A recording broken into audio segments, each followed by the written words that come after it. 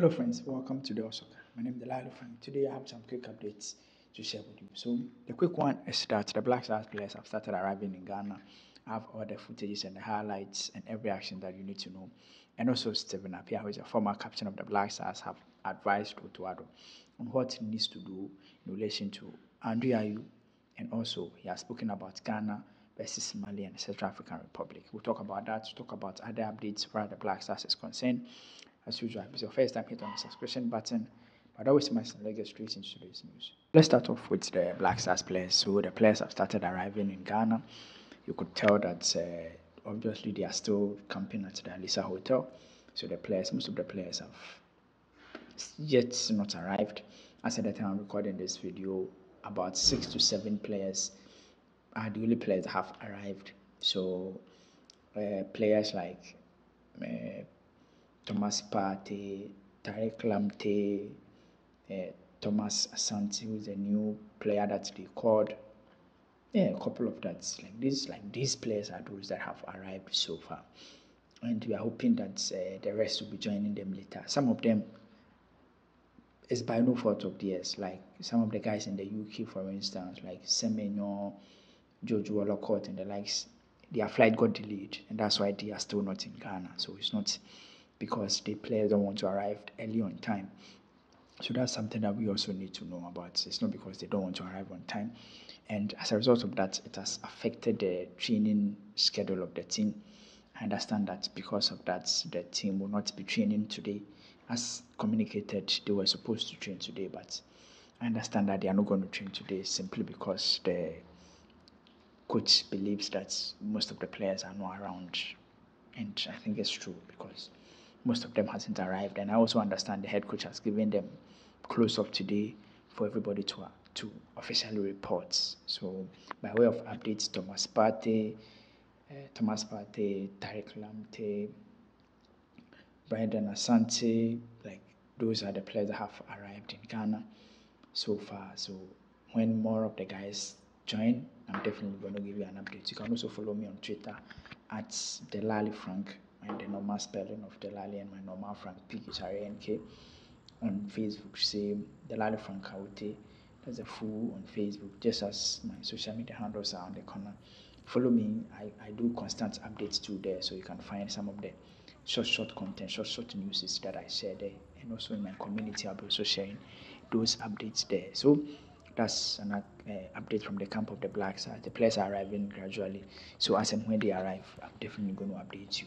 Another thing that I want to talk about is Stephen Appiah. Stephen Appiah has spoken about the head coach Otto Addo, the upcoming uh, qualifiers, and he has also spoken actually about Otto Addo's decision to drop Andre Ayew because I think his time a lot of people have been players have been dropped, and he said something the two games, he talked about the two games that we are going to play, and also he talked about the qualifiers and then uh, the Andre issue. He said, in most cases here, uh, when these players are retiring, we don't communicate it well to them. And like you just have to let the player know that you have done enough for the national team, but it's time for you to move on. Be honest as possible and be open with the player.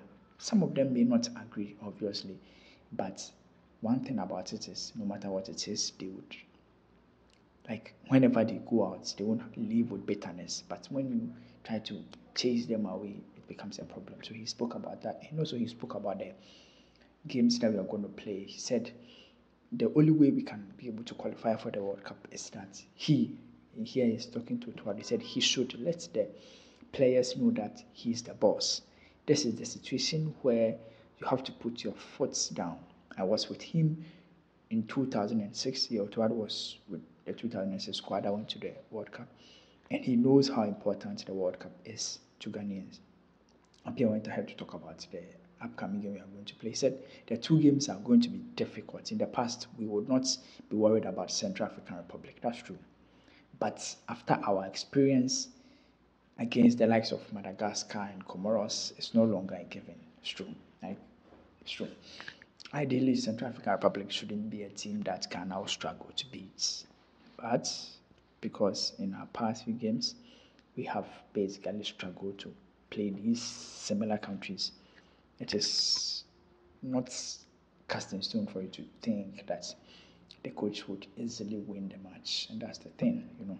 But he said we can still win. The coach needs to talk to the boys, and I think I agree with Stephen Appiah, especially when it comes to the players' retirements.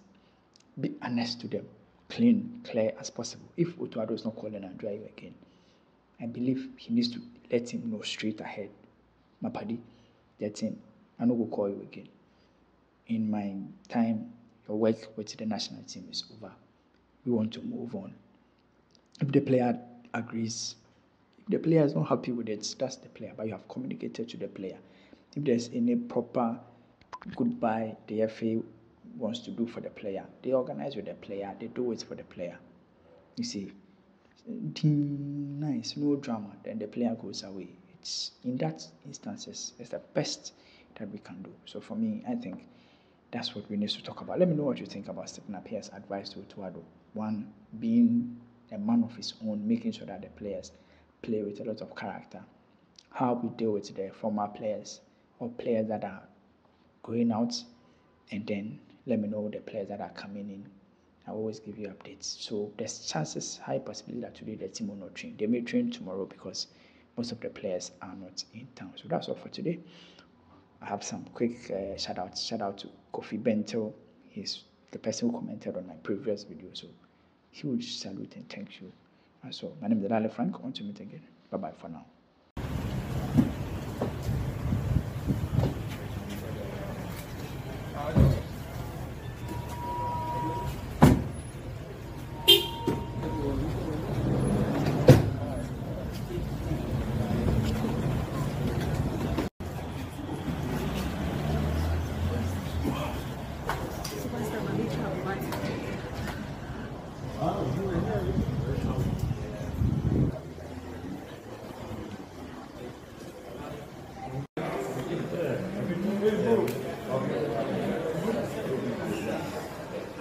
Good.